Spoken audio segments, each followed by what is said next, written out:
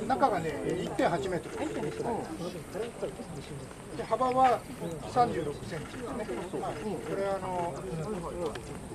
端っこ近くで深さが27センチえ昨日の段階ではまだ土があの底の方にまだあっただあったんですけども、えー今朝、えー中の館内の土を、えー最終的に、えーまあ、精査して取り上げたところ、えー館の底に到達をいたしました、えーで副葬品それから人骨等は、えー確認できませんでした、えーというのがあのえ現状であります。またあの、えー新たな情報といたしましては、えー石棺の裏とか、それから管材、えー立てている石の内側に、まあ、あ赤色顔料が塗ってあったんですけども、えー棺の底にも、まあ、部分的ですけども、赤色顔料のが確認できたと、まああの少しの範囲なんですよ、確認できたというのが一つ成果になります。ですから、まあ、あのそこがあ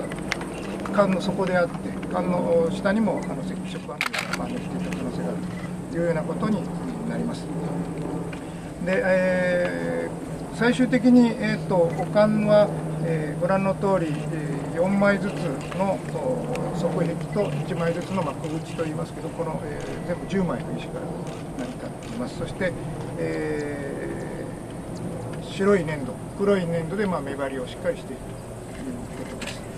えーそれから石材については、えー特に調査の中で、えー注目されたことですけども、かなり分厚い石を乗せていたということもあの大きな特徴になります。え加えて、×印、まあ、カタカナの木の字のようなものも書かれていた、えーそういうことから、ここにあの葬られていた人間というのはどういう人間なのかなというのは、まあ、あのいろいろ想像が膨らむわけですけども、まあ、あの今日で館内の中の調査が一段落したわけですけども、まああのえー総合的に考えて、まあ、あの場所から場所が、まあ、ここが一番あの見晴らしのいい場所であることそしてあのもうあのこの引きだけ、まあ、あのポンとあるということから考えてもトータルで考えて、まあ、ランクは分かりません。副葬品はなかったので、詳細は分かりませんけれども一定ランクのあの有力的有力者、まあ、あの一定ランクの人間の墓じゃないかなというふうに考えております。ちょっと簡単ですけども。以上です。